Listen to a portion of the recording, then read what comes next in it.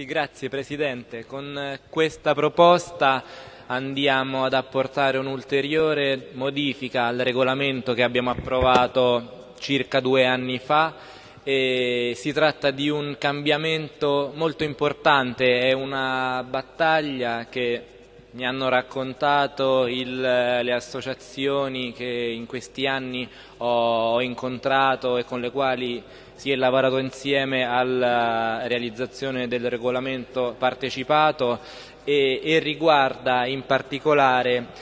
l'utilizzo dei canoni di concessione che le associazioni pagano per l'utilizzo delle palestre scolastiche e in particolare l'impegno eh, ad utilizzare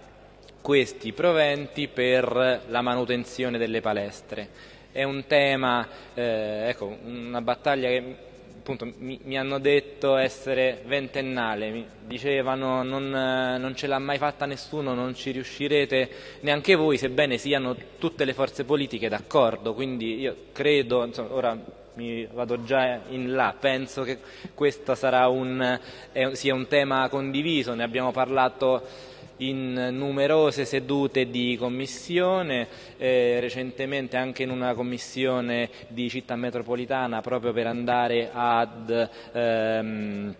armonizzare il, le procedure che già sono utilizzate in città metropolitana e, e quindi è un, è un obiettivo molto significativo, molto importante, soprattutto perché eh, con, eh, con, questo impegno, che poi di, nei fatti l'attuale amministrazione ha già ampiamente superato il, la spesa per investimenti e manutenzione ordinaria e straordinaria nelle palestre scolastiche che è stata messa a bilancio a partire dal 2017 in poi, è già stata molto superiore a quelli che sono gli introiti da canone di concessione che sono poco più di un milione di euro l'anno, nell'ultimo anno sono stati investiti 3 milioni e mezzo eh, di euro per la manutenzione straordinaria delle palestre, abbiamo ristrutturato oltre 100 palestre scolastiche in eh, tre anni e mezzo e però ecco, inserire un impegno del genere nel regolamento fa sì che eh, questa che è stata una battaglia mh, di questa amministrazione diventi eh, la norma e quindi l'utilizzo dei eh, ricavi delle entrate da canone di concessione saranno d'ora in poi sempre utilizzate per la manutenzione delle palestre scolastiche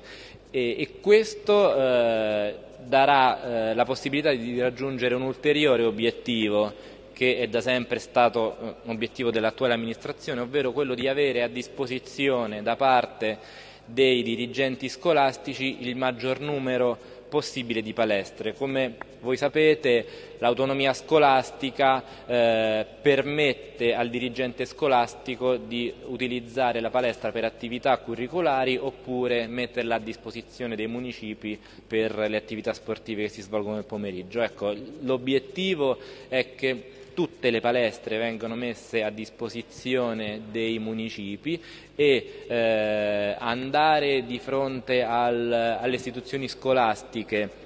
con l'impegno di eh, avere finalmente cura di questi luoghi e quindi tutto ciò che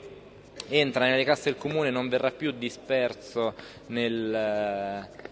bilancio generale ma sarà utilizzato ovviamente compatibilmente con tutti i vincoli eh, di bilancio. Eh, per la manutenzione delle palestre farà sì a nostro avviso che la messa a disposizione di questi eh, spazi sarà sempre maggiore in futuro. E perché poi l'obiettivo eh, di avere, migliorare quanto più possibile questi luoghi naturalmente è condiviso, è un obiettivo dell'amministrazione che è proprietaria delle strutture, è obiettivo delle scuole che quelle strutture le utilizzano e quindi ne beneficeranno naturalmente non solo gli utenti dei centri sportivi municipali che il pomeriggio e la sera oppure nel fine settimana anche durante il giorno utilizzano questi spazi ma anche gli, i bambini che sono iscritti alle scuole durante l'ora di educazione fisica vanno appunto a fare attività dentro le palestre scolastiche. E ringrazio il, gli uffici per il supporto che hanno dato alla stesura dal punto di vista tecnico del, di questa modifica e, e ringrazio tutti per l'attenzione.